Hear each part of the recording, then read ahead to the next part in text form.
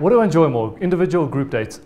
It's a difficult one because I enjoy both in different ways. And you know, obviously, if you really want to share that moment with one person, but then you do get the breakaway. Uh, then on the group date, you get to see the ladies interacting with each other, and then with you, uh, it's so it's it's different. I mean, there's there's no one or the other.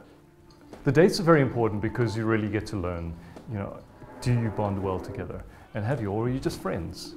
You know, you, you can't. It, it, you do want to date someone that you're friends with, and that's your best friend. But I want to have that that chemistry, that spark, that that attraction.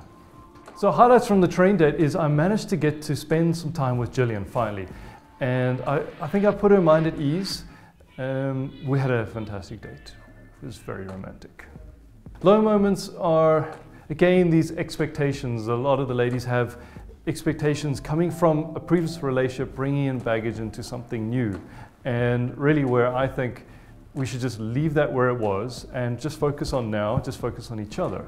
Every day in a way gets more difficult and then on the other hand it gets easier because you're learning enough to know is this a person that I could spend the rest of my life with which is a very serious question very serious topic it's really tough these rose ceremonies and maybe I'm making a mistake and I don't want to really put that out there but by sending someone home could I have sent home the person that would be best suited to me? I, I don't know and I'm fully aware of that